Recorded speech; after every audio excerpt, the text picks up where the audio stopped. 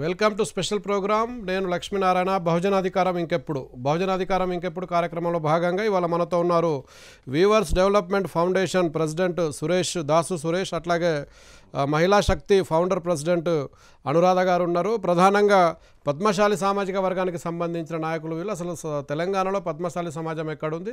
రాజ్యాధికారం కోసం పద్మశాలి సమాజం ఏం చేయబోతుంది? ఇదే విషయాన్ని మనం ఇప్పుడు ఇప్పుడు చర్చించబోతున్నాం. సురేష్ గారు చెప్పండి. తెలంగాణ పరిస్థితి కానీ తెలంగాణ కానీ ఆంధ్ర కానీ రెండు రాష్ట్రాల్లో కూడా పద్మశాలిల పరిస్థితి ఎలా ఉంది ఇవాళ? పద్మశాలిలో కనుక మనం చూసేది ఉంటే మెజారిటీ ప్రజలు బలహీన వర్గాలకు చెందిన వాళ్ళుగా ఉన్నారు. ఈరోజు మనం చూసేది ఉంటే అత్యధికంగా బీసీలల్లో మన ఆత్మహత్యలు కానీ అనారోగ్య కారణాల వల్ల ఏదన్నా వర్గము చావు బతుకులతో కొట్టుమిట్టాడుతుంది అంటే అది చేనేత వర్గానికి సంబంధించిన పద్మశాలి కులం.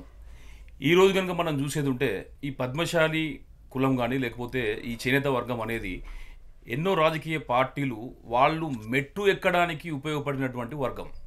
ఈ వర్గము ఒకప్పుడు మనం చూసేది ఉంటే భారతదేశ స్వాతంత్రం వచ్చే సమయం లోపల కూడా ఈ విదేశీ వస్తు బహిష్కరణ కార్యక్రమం లోపల ఈ యొక్క చేనేత వస్త్రాలను బహిష్కరించే కార్యక్రమం లోపల ముందు నిల్చొని మన స్వతంత్రం సిద్ధించడానికి ప్రముఖమైన పాత్ర పోషించింది. అదే రకంగా ఈరోజు తెలంగాణ ఏర్పడే సందర్భంలో కూడా అటు సిరిసిల్లో కానీ ఇటు పోచంపల్లో కానీ జరిగిన ఆత్మహత్యలను ఆసరాగా చేసుకొని కూడా ప్రభుత్వం అసెంబ్లీ లోపల నానా యాగి చేసి వీళ్ళ ఆత్మహత్యలు జరుగుతున్నాయి. ప్రభుత్వాలు ఏ పని చేయట్లేదు అన్న ఉద్దేశంతో ఒక చేనేత వర్గాలకు ఒక ఆశను కల్పించి అధికారంలోకి వచ్చిన పరిస్థితి కూడా మనం కల్లారా చూస్తున్నాం. కానీ ఈరోజు కూడా ఈ యొక్క సమాజం అనేక ఇబ్బందులతోని సతమతమవుతూ దాదాపు తెలంగాణ వచ్చిన తర్వాత కూడా ఇప్పటికీ మూడు వందల మంది ఆత్మహత్యలు చేసుకున్న పరిస్థితి మనం చూస్తున్నాం. సో ఇక్కడ మనం గమనించాల్సిన విషయం ఏంటంటే మనకు రాజ్యాధికార దిశగా ఈ వర్గాలు ప్రయాణం చేసినప్పుడు మాత్రమే ఇటువంటి ఆత్మహత్యలను నిరోధించడానికి అవకాశం ఏర్పడుతుంది. ఈ రాజకీయ పార్టీలు కూడా ప్రధానమైనటువంటి రాజకీయ పార్టీలు కూడా వీళ్ళకు రాజకీయంగా అధికారాలు ఇచ్చినప్పుడు మాత్రమే వారిని నిజంగా గుర్తించినట్టుగా మనం గమనించవచ్చు. అది కాకుండా కేవలం కొన్ని పథకాలకు కానీ లేకపోతే కొన్ని సబ్సిడీలకు కానీ వీళ్ళను పరిమితం చేసేది ఉంటే ఇంకా వాళ్ళని ఓటు బ్యాంకు లాగానే వాడుకునే ప్రయత్నం చేస్తున్నారు తప్పించి వాళ్ళ ఎదుగుదలకు ఏమాత్రం కూడా సహకరించట్లేదని చెప్పేసి అని మనం గమనించవచ్చు. మేడం అనురాధ గారు వీవర్స్ ఎంతమంది మగవాళ్ళు అయితే ఇంట్లో కష్టపడి పనిచేస్తారో అంతే సరి సమానంగా మహిళలు కూడా పనిచేస్తారు. మీరేం చెప్తారు? ఎట్లా ఉంది మహిళల పరిస్థితి మహిళలని ముందుకు తీసుకొస్తున్నాం ముందుకు తీసుకొస్తున్నాం అని మేము గొంతెత్తి అరవడమే తప్ప ముందుకు వచ్చిన ఏ ఒక్క మహిళకు కూడా ఈరోజు ఎలాంటి న్యాయం జరగలేదు. ఈరోజు సి సిరిసిల్ల నియోజకవర్గం నుండి ఒక ప- పద్మశాలి బిడ్డ అన్ని పార్టీల దగ్గరికి వెళ్ళి బిచ్చమెత్తుకున్నట్టుగా అడిగింది అందరినీ. నాకు ఒక అవకాశం ఇవ్వండి ఇక్కడ చాలా ప్రాబ్లమ్స్ ఉన్నాయి. నేతల ప్రాబ్లమ్స్ చాలా ఉన్నాయి. నేను చూసుకుంటాను. ఒక మహిళ ముందుకు వచ్చినప్పుడు ఏ ఒక్క రాజకీయ నాయకుడు కూడా ఏ టీఆర్ఎస్ కానీ ఏ టీడీపీ కానీ ఏ మహాకూటమి కానీ ఏ ఒక్కరు కూడా ఆమెకు సపోర్ట్ చేయలేని పరిస్థితి వచ్చింది. అలాగైనా కూడా ఆమె ముందు ధైర్యం చేసుకొని ఆమె ఒక ఇండిపెండెంట్గా పోటీ చేసింది. పోటీ చే పోటీ చేద్దామని ముందుకు వెళ్తే ఆమెకి బెదిరింపు కాల్స్. బెదిరింపు కాల్స్ రావడం వల్ల ఈరోజు ఒక మహిళ ఎంత ఎంతవరకు చేయగలుగుతుంది? అంతవరకు చేసినా కూడా ఆ అమ్మాయిని ఈరోజు మళ్ళీ ఇంటి ఒంటింటికి ప- పరిమితం లాగా ఆమెను బెదిరియడం వల్ల ఒంటింటికి పరిమితం లాగా ఈరోజు ఆమె మళ్ళీ వచ్చేసి మేడం ఇట్లా జరుగుతుందని నిన్న మాకు చెప్పడం జరిగింది. అంటే ఎప్పుడైనా మహిళ ముందుకు రావాలనుకోవడమే తప్ప అనగదొక్కడమే వీళ్ళ పనిగా పెట్టుకున్నారు. ఎప్పుడు చూసినా అధికారంగా విన్న వాళ్ళు అధికారులుగానే ఉంటారు. కానీ ఏ ఒక్కరిని కూడా మన తక్కువ కులము తక్కువ కులము తక్కువ కులం అనే పరిస్థితే ఉంది కానీ ఈ ఎలాంటి ఇది న్యాయం జరగదని అయితే అనిపిస్తుంది తెలంగాణ వస్తే అందరు బతుకులు బాగుపడతాయని తెలంగాణ బాగుపడడం కోసమే బతుకులు బాగుపడడం కోసమే తెలంగాణ ఉద్యమం జరిగింది. చాలా బాగుపడలేదా? చాలా దాంట్లో కూడా మేము పోరాటం చేయడం జరిగింది. ఓయూ క్యాంపస్లో కూడా చూడండి మై అప్పట్లో మీకు కనుక మీరు తీసి ఉంటే మా గురించి ప్రతి దాంట్లో మేము ఉంటాము మేము పోరాటం చేసాం. ఒక మగవాళ్ళు చేస్తేనే రాలేదండి. రాలేదా? మహిళలు కూడా చేశారు మహిళలకు కూడా సగం వాటా అని చెప్పారు. సగం అన్ని సంబంధించి. మహిళలు చేశారు బాగుంది. సకల జనుల సమ్మెలో మహిళలందరూ ఉద్యోగులు అటెండర్లు అందరూ వచ్చారు. మా పద్మశాలి సమాజానికి సంబంధించిన మహిళలకు సంబంధించి సమస్యలు ఏమున్నాయి? తెలంగాణ వచ్చిన తర్వాత మీ బతుకులు ఎందుకు బాగుపడలేదు? ఎక్కడ బాగుపడనిస్తారండి. ముందు బాగుపడ బాగుపరచాలనే ఆలోచన ఎవరికి లేదు. ఏ రాజకీయ నాయకుడికి లేదు ఎవరికి లేదు. మేము ఎక్కడేసిన గొంగడ ఎక్కడే అన్నట్టుగా మా బాబా బ్రతుకులు ఇక్కడే ఉంటున్నాయి. మూడు వందల మంది ఆత్మహత్య చేసుకున్నారు. తెలంగాణ వచ్చినాక కూడా ఎంతమంది చేసుకుంటలేరని వాళ్ళకి ఎలాంటి న్యాయం జరుగుతుంది? ఏ ఒక్క నాయకుడు పోయాడు? పోయి వీళ్ళకి మీకు ఎలా జరిగిందని ఎవరు చెప్పారు? చేసుకున్న వాళ్ళ మహిళలు కూడా ఉన్నారా? చాలా మంది అండి. చాలా మంది ఉన్నారు. భర్తలు చనిపోతే భార్యలు ఏం చేస్తారు? వాళ్ళకి తెలిసినది ఒకటే ఒక వృత్తి. ఇంట్లో కూర్చొని పత్తి తీయాలి పత్తి నుండి దారం తీయాలి దారం నుండి బట్ట బట్ట తయారు చేయాలి. ఆ బట్ట ఎట్లా ప్రజలకు ఇవ్వాలి అనే ఆలోచనే తప్ప వాళ్ళకి ఇంకో ఆలోచన లేదు. అలాంటి మహిళకి ఒక భర్త చనిపోతే ఆమె ఏడ్చుకుంటూ ఇంట్లోనే కూర్చుంటుంది కదా బయటికి ఎప్పుడు వస్తుంది ఆమె? వచ్చి ఏం చేయగలుగుతుంది? ఎలా బ్రతకగలుగుతుంది? అలాంటి వాళ్ళు చాలా హత్- ఆత్మహత్యలు చేసుకున్న వాళ్ళు ఉన్నారండి. డీసెంట్గా ఈ మధ్యన జరిగిన ఒక సిచ్యువేషను రంగనాథపురం అనే ఒక ఊరు ఉంటుంది అక్కడ సాంచల వరకు జరుగుతుంది. మన నేతది తక్కువ ఉంటుంది మన అది మగ్గం వరకు తక్కువ ఉంటుంది ఈ మిషన్ల వరకు ఎక్కువ ఉంటుంది. అలాంటి వాళ్ళు ఎక్కడికి పోతారండి? మహిళలు ఏం చేసుకోగలుగుతారు? ఎప్పుడు చూసినా రాట్నం తిప్పడం వాళ్ళకి తెలిసింది అదొకటే పొద్దున్న లేస్తే వంట చేసుకోవాలా రాట్నం తిప్పాలి ఎన్ని కండాలు చుట్టాలి మాకు ఈరోజు ఎంత కూలి పడుతుంది అనే పరిస్థితి. కూలి కాడనే ఉండిపోయింది కూలి కాడనే బ్రతుకులు తెల్లారుతూ ఉన్నాయి. సురేష్ ఎందుకు ఇట్లాంటి పరిస్థితి? తెలంగాణ వస్తే అందరి బతుకులు బాగుపడతాయి. ముఖ్యంగా మీ సిరిసిల్లాలోనే చేనేత కార్మికులు ఎక్కువ మంది ఉంటారు. అక్కడ స్వయంగా ముఖ్యమంత్రి కొడుకు మంత్రి కేటీఆర్ ప్రాతినిధ్యం వహిస్తున్నాడు. అట్లాంటి పరిస్థితులు ఎందుకు ఈ విధంగా ఉన్నది? ఇక్కడ మనము ప్రధానంగా గమనించాల్సిన విషయాలు ఏంటంటే ఇప్పుడు మనం పుండు ఎక్కడ ఉండేది ఉంటే మందు అక్కడ పెట్టాలి. ఈ స ఈ యొక్క ఆత్మహత్యలు ఎందుకు జరుగుతున్నాయి అనే విషయాన్ని మనం పరిశీలించేది ఉంటే ప్రధానంగా వాళ్ళకి ఏంటంటే ఆరోగ్యపరమైనటువంటి కారణాలు ఆర్థికపరమైనటువంటి కారణాల వల్ల ఈ ఆత్మహత్యలు జరుగుతున్నాయి. అయితే దీన్ని మేము ఏం చేసినామంటే మా ఇప్పుడు నేను యాక్చువల్గా ఏంటంటే నేను ఒక సాఫ్ట్వేర్ వృత్తి లోపల దాదాపు పదిహేను సంవత్సరాలు పనిచేసిన తర్వాత కూడా ఈ యొక్క నేను ఈ కమ్యూనిటీ నుంచి వచ్చిన కాబట్టి ఇక్కడ తెలంగాణ వచ్చిన తర్వాత కూడా ఆత్మహత్యలు ఇలాగే కొనసాగుతూ ఉంటే మేమేం చేసినామంటే నాకు మోహన్ రావు గారు అని చెప్పేసి అని మన వరంగల్ సీకేఎం కాలేజ్ లోపల ఒక ప్రొఫెసర్ గారు ఉన్నారు. ఆ సార్ గారితో కలిసి మూడు నెలలు మేము ఏం చేసినామంటే గ్రౌండ్ లోపల మేము రీసెర్చ్ వర్క్ రీసెర్చ్ వర్క్ చేసినాం. గ్రౌండ్ వర్క్ చేసి గ్రౌండ్ వర్క్ చేసినాం. ఎందుకు జరుగుతుంది ఇట్లా దీనికి ప్రధానమైన కారణాలు ఏంటి అని చెప్పేసి ఒక డీటెయిల్డ్ రిపోర్ట్ తయారు చేసి మనం ముఖ్యమంత్రి గారికి అందజేసినాం మనం. అందులోపల మేము ప్రధానంగా ప్రస్తావించిన అంశాలు ఏంటంటే ఆర్థిక కారణాలు ఆరోగ్య కారణాలు. ఇది కాకుండా ఏంటంటే కొంతమంది వీళ్ళు వీళ్ళ పిల్లల పెళ్ళి చేయడానికి కానీ లేకపోతే business ని ఇంకా ముందుకు తీసుకుపోవడానికి వాళ్ళు అప్పులు తీసుకొని రావడం జరుగుతుంది. అయితే ఇక్కడ ఏం జరుగుతుందంటే ఇక్కడ సిరిసిలో మనం ప్రధానంగా గమనిస్తే ఇక్కడ సాంచాలు దాదాపు మామూలుగా పని దినాలను బట్టి పని లేబర్ రూల్స్ బట్టి చూస్తే ఓన్లీ పది గంటలు పని చేయాల్సింది కాస్త ఇక్కడ పద్నాలుగు పదహారు గంటలు కూడా పని చేస్తున్నారు ఇది వల్ల ఏమవుతుందంటే శబ్ద కాలుష్యం విపరీతమైనటువంటి సౌండ్ వల్ల ఒక గ్రాహక శక్తిని ఒక నేతన్న కోల్పోతున్నాడు. దీంతో ఏమవుతుందంటే ఒక చిన్న సమస్య ఎదురైనా కూడా దాన్ని ఎదుర్కొనే ప్రయత్నం చేయకుండా ఏమవుతుందంటే మద్యానికి బానిసగా తయారు కావడము లేకపోతే అదని తప్పించుకోలేకుంటుందంటే ఎటువంటి దారి దొరకక అదే సందర్భం లోపల వేరే వాళ్ళు డబ్బులు ఇచ్చిన వాళ్ళు వచ్చేసి వీళ్ళను భయపెట్టడం కానీ భయభ్రాంతులకు గురి చేయడం వల్ల దాన్ని తట్టుకోలేని పరిస్థితి లోపల వాళ్ళు సూసైడ్ చేసుకోవడానికి కారణమవుతుంది అన్నట్టు సో ఇటువంటి వాటిని మనం కంట్రోల్ చేయకపోతే వాళ్ళకి సంబంధించిన కుటుంబం మొత్తం కూడా రోడ్డు మీదకి వచ్చే పరిస్థితి ఏర్పడుతుంది. వాళ్ళ పిల్లలకు కూడా విద్యా అవకాశాలు లేకుండా అయిపోతుంది.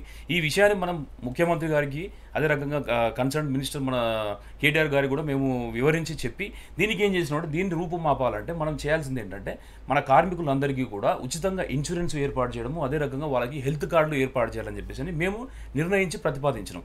ఇది ఇక్కడ మాత్రమే కాకుండా ఓన్లీ చెప్పడం మాత్రమే కాకుండా మేము క్షేత్రస్థాయిలోకి వెళ్ళి అక్కడ ప్రతి ఒక్క వీవర్ యొక్క వివరాలను కంప్లీట్గా సేకరించి దాదాపు ఇరవై ఐదు వేల మంది వరకు మేము సభ్యులుగా చేర్చుకున్నాం. అక్కడ వాళ్ళ పూర్తి వివరాలతో కూడుకున్నటువంటి నివేదికను తీసుకెళ్ళి మేము ఏం చేసినాం అంటే ఎల్ఐసికి ఇచ్చినాం. LIC Insurance Corporation. ఎందుకు ఇచ్చామంటే ఇక్కడ ప్రతి ఒక్క ప్రతి వ్యక్తి యొక్క ఇన్సూరెన్స్ ప్రీమియం అనేది వాళ్ళ ఏజ్ని బట్టి డిఫర్ అవుతుంటుంది. కాబట్టి ఈ పర్సన్స్ అందరినీ కనుక మనం అందరినీ కలిపేది ఉంటే వీళ్ళందరికీ కలిపి ఎంత అమౌంట్ ఖర్చు అవుతుంది అనే ఒక ప్రధాన ఇన్ఫర్మేషన్ని మనం గవర్నమెంట్కి ఇవ్వడానికి మనం ఒక ప్రపోజల్ తీసుకెళ్ళి గవర్నమెంట్కి ఇచ్చాము. అది ఆ రకమైన ప్రపోజల్ని వాళ్ళు ఏం చేసినారంటే ముఖ్యమంత్రి గారికి ఉన్ను కేటీఆర్ గారికి ఈ విషయాన్ని చెప్తే వాళ్ళు అర్థం చేసుకున్న తర్వాత ఏం చేసినట్టే ఫస్ట్ ఈ రైతు బంధు పథకం ద్వారా రైతు బీమా పథకం ద్వారా దాన్ని ఇంట్రడ్యూస్ చేసిండ్రు. సో ఈ రకంగా ఏంటంటే దాదాపు యాభై ఐదు లక్ష లక్షల మంది రైతులకి ఈ యొక్క రైతు బీమా అనేది ఒక వరం లాగా ఉపయోగపడ్డది వాళ్ళకు. అదే సందర్భం లోపల మేము ఏం చేసినామంటే ముఖ్యమంత్రి గారిని కేటీఆర్ గారు కూడా మేము అభినందించినాం. ఎందుకంటే ఇది చాలా మంచి కార్యక్రమం. ఎందుకంటే మేము ఇంత కష్టపడి దాదాపు ఒక మూడు సంవత్సరాల వరకు నేను ఉద్యోగాన్ని పక్కన పెట్టి కూడా ఈ కార్యక్రమం తీసుకున్నందుకు ప్రజలకు ఉపయోగపడుతున్న కార్యక్రమం తయారైనందుకు మేము హర్షించినాం. అదే సందర్భం లోపల మేము అడిగింది ఏంటంటే ఇక్కడనే మూడు వందల మంది చేనేత కార్మికులు కూడా చనిపోయారు కదా. వీళ్ళకు కూడా మనం చేస్తే బాగుంటుంది అనే ఒక విషయాన్ని మనం ప్రస్తావించినప్పుడు అది చేస్తాం చేస్తామని చెప్పి దాటేసి ముందస్తు ఎలక్షన్స్కి వెళ్ళిపోయి ఆ అంశాన్ని అదే రకంగా ఉంచడం వల్ల ఈ రోజు కూడా మనం చేనేత ఆత్మహత్యలు చూస్తూ నిన్న కూడా సిరిసిల్ల లోపల ఒక చేనేత కార్మికుడు ఆత్మహత్య చేసుకున్న విషయం అనేది మనం చూసినాం. సో ఇదే విషయం కనుక ఈరోజు మన ముఖ్యమంత్రి గారు చాలా క్లియర్గా చెప్తున్నారు ప్రతి ఒక్క మీటింగ్ లోపల కూడా. ఆశీర్వాద సభలో చెప్తున్న విషయం ఏంటంటే రైతు బీమా అనే పథకాన్ని ప్రభుత్వం ఇంట్రడ్యూస్ చేసిన తర్వాత ఆగస్టు పదిహేను నుండి ఇప్పటికి దాదాపు రెండు వేల ఐదు వందల మంది లబ్ధి పొందిందని చెప్పేసి అని చెప్పారు మేము అడిగింది ఏంటంటే ఈ చేనేత వర్గం నుంచి ఎవరైతే చనిపోయినటువంటి మూడు వందల మంది ఉన్నారో వాళ్ళకి ఎక్స్గ్రేషియా ఇవ్వండి. అదే రకంగా వాళ్ళకి లబ్ధి పొందిన రైతుల్లో మీ పద్మశాలీలు ఎంతమంది? మీరు ఒక ప్రతిపాదన చాలా అద్భుతంగా ఉన్నది మీరు చెప్పింది. చాలా గొప్ప ప్రతిపాదన. నిజానికి తెలంగాణ రైతులందరికీ వాళ్ళు ఉపయోగపడుతున్నది. ప్రభుత్వం అదే చెప్పుకుంటున్నది. ఆ రైతుల్లో మీ పద్మశాలి వాళ్ళు ఎంతమంది ఉన్నారు? వాస్తవానికి మనం గమనించేది ఉంటే చేనేత కార్మికులు కానీ పద్మశాలీలు కానీ భూమి ఉన్న వాళ్ళు మాత్రం అతి తక్కువ ఉంటారు. బీసీలలో చాలామంది భూమి మీద ఆధారపడిన వృత్తిని కొనసాగించే వారు ఉన్నారు. అందులో పద్మశాలి వర్గానికి సంబంధించింది మాత్రం చాలా మైన్యూట్. అందులో పెద్దగా రైతులు కానీ అంటే వ్యవసాయం మీద ఆధారపడినటువంటి పద్మశాలీలు ఎక్కువ స్థాయిలో ఉంటారని చెప్పేసి మేము అనుకోవట్లేదు. ఎందుకు మేడం ఇట్లాంటి పరిస్థితి? గట్ ఒక స్వయంగా ముఖ్యమంత్రి నివేదిక తీసుకొని కేటీఆర్ నివేదిక తీసుకొని దానివల్ల రైతు బంధు రూపంలో ఇంప్లిమెంట్ చేస్తున్నారు తప్ప మీ పద్మాచరణకి ఏం చేయట్లేదు.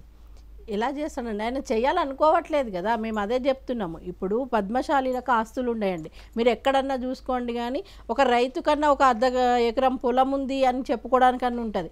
ఈ పద్మశాలీలకు ఒక పావు పావు కూడా కాదు. కనీసం రెంటింట్లే రెంటింట్లు ఇవ్వడానికి కూడా ఈరోజు చాలా ప్రాబ్లం ఉంది. జనగాం అనే ఒక డిస్టిక్లో రెంట్ ఇల్లు ఇవ్వలేకుండా వాళ్ళు మగ్గం వేసుకోవడానికి ప్లేస్ లేకుండా పోయింది. కనీసం నేత వాళ్ళది వాళ్ళకు వచ్చిన వృత్తి అదే అండి. చా అందరు పట్నం వచ్చి బ్రతకాలి ఒకరి దగ్గర కూలి చేయాలంటే మనసు చంపుకొని చేస్తున్నారు వాళ్ళు. కాదు మన పని మనం చేసుకుందాం మన వృత్తిని మర్చిపోవద్దు అని చేసుకునే వాళ్ళకి కొంచెం జాగా లేదు. వాళ్ళకి జాగా లేదు ఇవ్వడానికి రెంట్ ఇండ్లు ఇవ్వరు. ఎందుకు అంటే మొగ్గం చేయడానికి ఓల్ చేయాలి. ఓల్ చేసి మొగ్గం పెడతారు. ఆ ఓల్ చేసాలి చేయాలి అంటే ఒక ఓనర్ ఒప్పుకోడు. అట్లా కూడా చాలా మంది ప్రాబ్లంలో ఉన్నారు. ఎటు తిరిగి పద్మశాలీలలో మీరు ఎన్ని ఇప్పుడు ఎన్ని తరాల నుండి చూసుకోండి వాళ్ళకి ఆస్తులు అనేది ఉండదు. ఏమున్నా ఒక మొగ్గం ఉంటుంది రెండు మొగ్గాలు ఉంటాయి. అంతకంటే ఉండదు. ఒక ఒక సాంచ్ ఉంటే రెండో సాంచ తీసుకోవాలంటే వాళ్ళ ఇంట్లో ఎంతమంది ఉన్నారు? ఎంతమంది పని చేస్తారు అనేదే ఉంటుంది కానీ అరే ఇంకా మనం ఆస్తులు సంపా ఆస్తులు సంపాదించరండి. బట్టలు నేసుకుంటే చాలు మా పూటలు గడిస్తే చాలు మాలాగా మా పిల్లల బ్రతుకులు ఉండకుంటే చాలు అనే ఆలోచన బతుకమ్మ. చీరలు కూడా కాంట్రాక్ట్ ప్రభుత్వం మీకే ఇచ్చినట్టున్నది. చూసారా అండి? బతుకమ్మ కాంట్రాక్ట్లో ఏ ఒక్కరైనా కూడా కాటన్ సారీ కానీ మొగ్గం మీద నేసిన వరకు ఒక్కటి కూడా ఇవ్వాలండి బయట నుండి తెప్పించుకొని ఆ సిల్క్ చీరలు ఇచ్చి సిల్క్ చీరల వల్ల మాకేం లాభాలండి? మా చేనేత కార్మికులకు ఏం లాభాలు? అవేవో మిషన్ మీద తయారు చేసినవి. ఇక్కడ తీసుకొచ్చి వంద యాభైకి ఇచ్చుకుంటే మాకు ఇక్కడ చీర మామూలుగా వేసుకున్నా కూడా ఐదు ఆరు వందలు పడుతుందండి. ఐదు ఆరు వందల రూపాయల చీరలు ఏ కేటీఆర్ పంచలేదు ఏ కవిత గారు పంచలేదండి. అవి బయట నుండి తెచ్చుకొని వాళ్ళు అమ్ముకునేది తప్ప మాకు ఎలాంటి. న్యాయం జరగలేదు. మీ పేరు చెప్పినట్టున్నారు కదా? చేనేత కార్మికులకే రాజకీయంగా చేనేత కార్మికులను కానీ చేనేత వర్గాలను వినియోగించడం అనేది.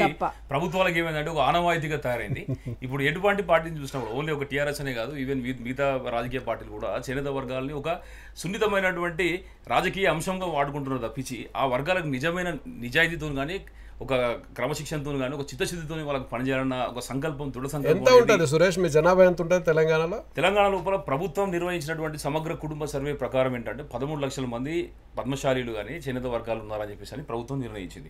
బట్ వాస్తవానికి కనుక మనం ఇప్పుడు చూసేది ఉంటే గల్ఫ్లో ఉన్నటువంటి మన కార్మికులు కానీ వివిధ దేశాలకు సూరత్ భీమండి షోలాపూర్ ఇటువంటి ప్రాంతాలకు వెళ్ళిన వాళ్ళందరూ కూడా వీళ్ళందరూ కూడా మనం కలుపుకునేది ఉంటే ఎటు చూసినా కూడా తెలంగాణ లోపల పద్మశాలీల యొక్క సంఖ్య ఇరవై ఐదు లక్షలకు తక్కువ ఉండదనేది మా ప్రగాఢ విశ్వాసం. మళ్ళీ ఓట్లు వేస్తారా కేటీఆర్కు కానీ టీఆర్ఎస్కు కానీ ఇప్పుడు ఎట్లా అవుతుందంటే ఏమవుతుందంటే మభ్య అంటే ప్రతి ఒక్క రాజకీయ పార్టీ కూడా ఎలక్షన్స్ టైం మాయమాటలు చెప్పేసి. మాయ మాటలు తప్పించి నిజానికి మీరు రండి. అంటే నేను అనేది ఏంటంటే ఒక పార్టీకి మేము విమర్శించే విషయంలో మేము లేము. కాకపోతే ఒక చిత్తశుద్ధి గురించి చిత్తశుద్ధితోని గుండెల మీద చేసుకుని ఒకసారి ఆలోచించండి. సిన్సియారిటీ మీద. సిన్సియారిటీ ఎందుకంటే తెలంగాణ అనేది ఒకరు కష్టపడుతూ వచ్చింది కదా. అన్ని వర్గాలు సబ్బండ వర్గాలు కూడా కష్టపడుతూ వచ్చింది. అందులో.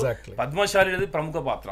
మనం చూసేది ఉంటే సిరి సిరిపురం యాదయ్య లాంటి ఒక పద్మశాలి బిడ్డ పెట్రోల్ పోసుకొని మన యూనివర్సిటీ ఉస్మానియా యూనివర్సిటీ ముందు పెట్రోల్ పోసుకొని తగలబడిపోతే అప్పుడు కదిలిందండి ఈ సమాజము. ఒక ఒక పద్మశాలి బిడ్డ మన కొండలక్ష్మణ్ బాబూజీ గారు ఆశ్రయం ఇస్తే ఏర్పడిందండి ఈ తెలంగాణ పార్టీ. టీఆర్ఎస్ కూడా అక్కడే ఒక బీజేపీ నాయకుడు టైగర్ నరేంద్ర గారు ఒకప్పుడు మన చంద్రబాబు మన కేసీఆర్ గారిని ఢిల్లీకి తీసుకెళ్ళి ప్రతి ఒక్కరిని కూడా పరిచయం చేయించి వారికి చేయుతనిచ్చినటువంటి లీడర్ అండి మహామనిషి మన టైగర్ నరేంద్ర గారు. ఇంతమంది పద్మశాలిల యొక్క ఆత్మాభిమానాల మీద ఏర్పడినటువంటి తెలంగాణని మీరు ఎట్లా విస్మరిస్తారండి? ఎందుకు మేడం ఇట్లాంటి పరిస్థితి? చాలా మంది నాయకులు కూడా ఉన్నారు. కొండ లక్ష్మణ్ బాబు లాంటి గొప్ప నాయకుడు ఉన్న మీ సమాజం. ఇవాళ ఎందుకు మళ్ళీ ఏదో కొండ లక్ష్మణ్ బాబూజీకి జరిగింది ఏంది? మీరు అదే ఒకసారి ఆలోచించండి. కొండ లక్ష్మణ్ బాబూజీ ఒక అడుగు ముందుకేస్తే ఆయన ఎంబడి వంద మంది ఉన్నారు ఆ రోజుల్లో. ఈ రోజులలో మనం ఒక మంది వేస్తే ఒక కాలు బట్టి గుంజేస్తున్నారే తప్ప ముందు అడిగే వేయడానికి ఎవరు ఆస్కారం ఇస్తలేరు కదండి? అల- అలాగే మేము ఏం చేయాలో ఏం చే ఎలా ముందుకు వెళ్ళాలో కూడా మాకు అర్థం కావట్లేదు ఈ రోజులలో. అంటే మీలాంటి నాయకులు ఏం చేస్తున్నట్టు సమాజానికి? ఎంత పార్టీలలో తిరుగుతున్నారు సంఘాలలో తిరుగుతున్నారు ఎన్జిఓలు పెట్టి తిరుగుతున్నారు. సోషల్ యాక్టివిటీస్ చేస్తున్నారు. సొసైటీకి ఏం చేస్తున్నట్టు మీరు? ఇంత చేసి కూడా ఏం జరగనప్పుడు? మేము మాకు చెప్ మేము వాళ్ళ దగ్గరికి ఒక మెమండో తీసుకొని వెళ్ళి సార్ ఇది ఉంది ప్రాబ్లం మాకు ఇది చెయ్యండి అని మేము తీసుకొని వెళ్తుంటే ఓకే అమ్మ చేస్తాం. అప్పటి వరకు చేస్తారు. ఓ మీరు వచ్చిండ్రా గ్రేట్. ఆ మీరు వచ్చినందుకు తప్పకుండా చేస్తాం. అప్పటి వరకు మేమే మోసపోతున్నాం. వాళ్ళు మోసపోవడంలో తప్పేం లేదు. మేమే పోగానే "ఆ, చేస్తామన్నారా మీరేనా? "ఆ, ఓకే ఓకే కూర్చోండి కూర్చోండి. మేడంకి నీళ్ళు ఇచ్చారా కాఫీ ఇచ్చారా? అక్కడ వరకే. తర్వాత "ఆ, పోయిందా లేదా? చూడండి ఒకసారి. ఆమె ఏదో పట్టుకొని వస్తుంది. అనే పరిస్థితికి వచ్చేసింది ఈ ప్రభుత్వం మొత్తం. అంటే ప్రభుత్వం కానీ ప్రజాప్రతినిధులు కానీ వాళ్ళని మనం ఎదురు ఎదు- అంటే మీ సమాజం కానీ ఇంకో సమాజం కానీ ఎవరైనా కానీ వాళ్ళ మీద తిరుగుబాటు చేయడం లేదనే కావచ్చు కదా?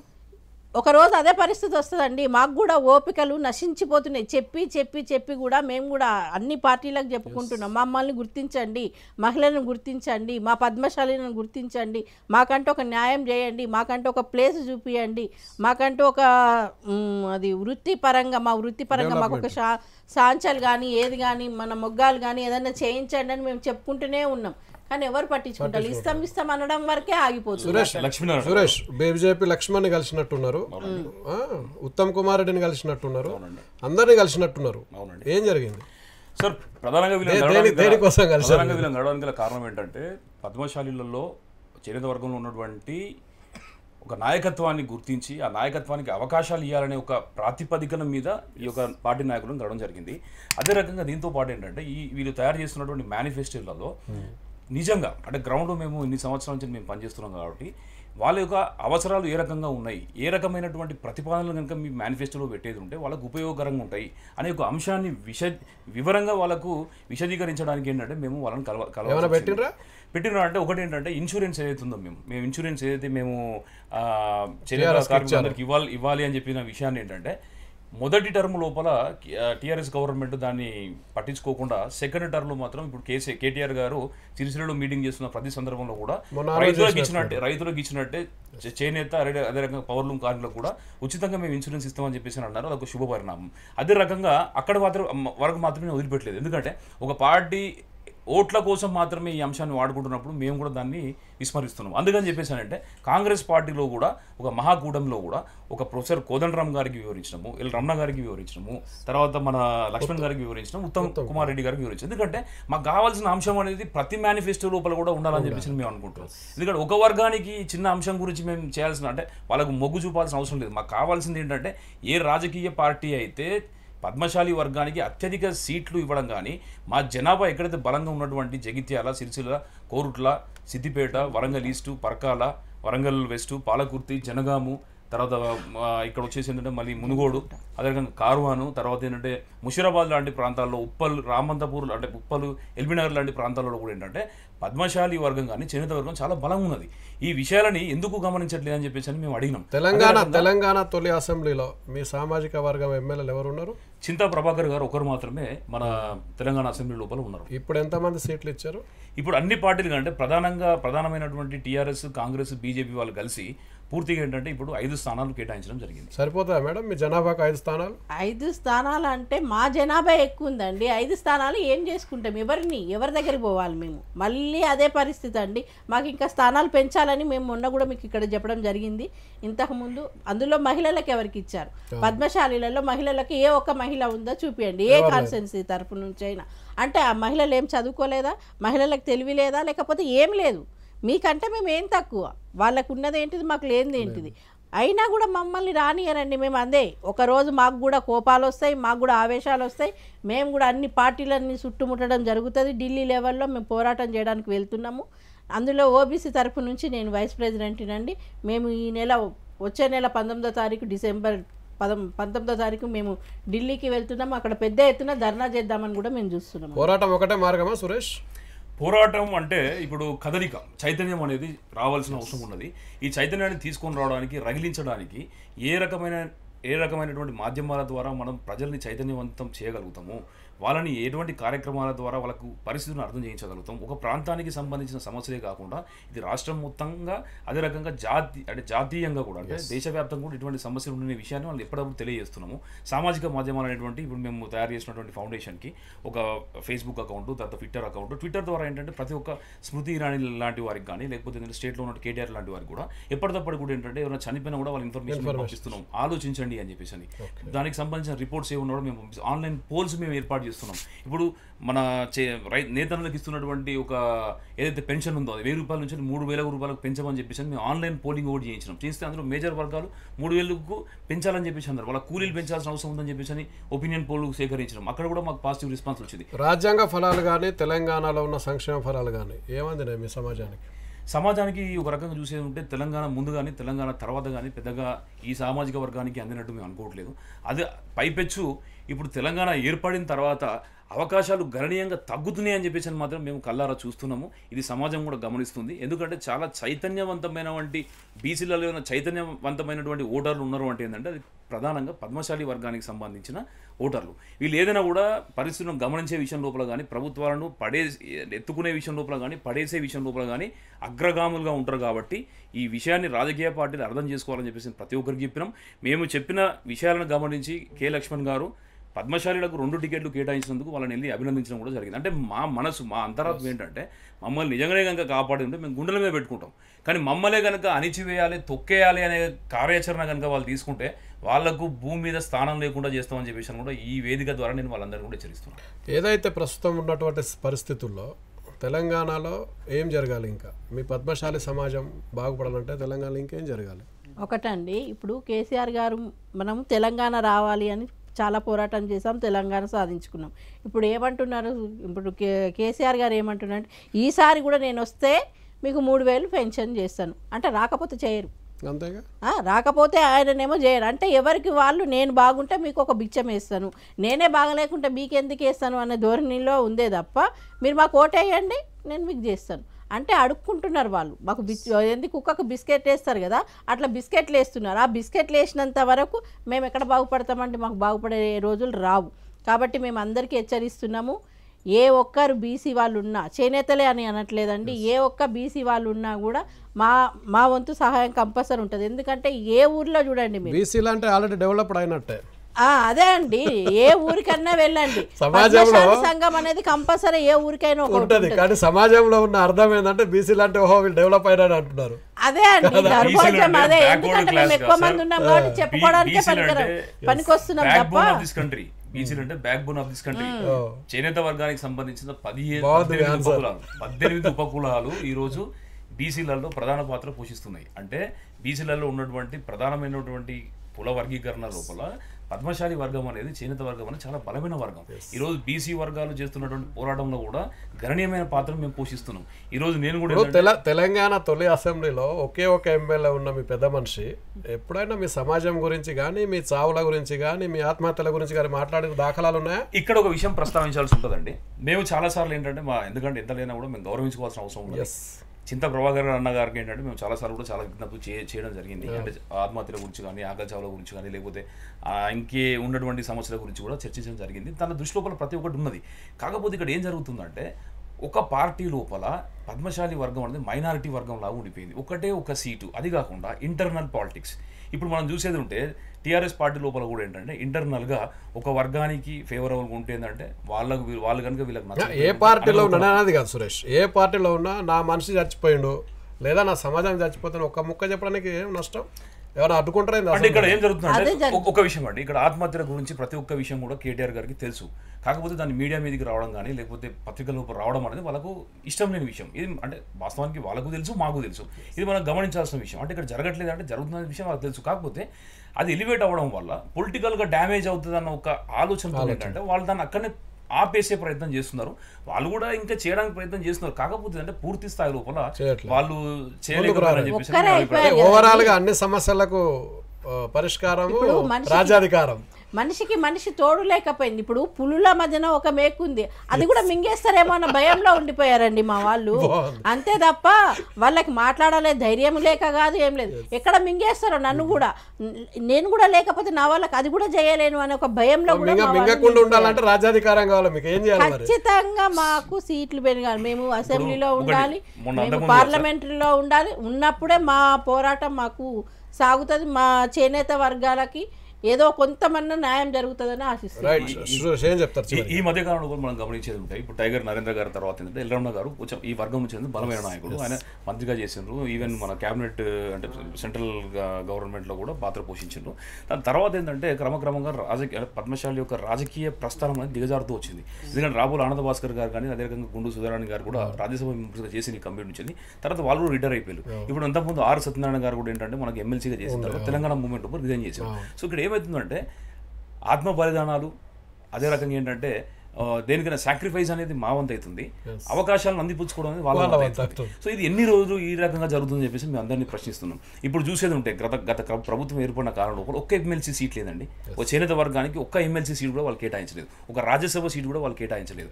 చే కేటాయించినటువంటి ఏవైతే మన సంస్థలకు చైర్మన్ లాంటి పొజిషన్స్ అన్ని కూడా అసలు ఇవి కూడా ఆ ఒక రకమైనటువంటి అస్తిత్వం లేనటువంటి శాఖ లోపల అయితే చేయలేదనే ఒక విషయం చేయలేదనే ఒక నానుడి తప్పించి నిజానికి చేయగలిగినా కూడా చేయలేకపోయినటువంటి పరిస్థితి ఈరోజు మనం ప్రత్యక్షంగా. Right Suresh thank you Anuradha madam thank you ఇది ఇవాళటి ఆ, పద్మశాలిలకు సంబంధించిన సామాజిక చర్చ. రేపు మరో సామాజిక అంశంతో మళ్ళీ కలుద్దాం. చూస్తూనే ఉండండి. Sneha TV news is right. ఈ వీడియో మీకు నచ్చినట్లయితే లైక్ చేయండి షేర్ చేయండి. మరిన్ని వీడియోస్ కోసం మా ఛానల్ని సబ్స్క్రైబ్ చేయండి.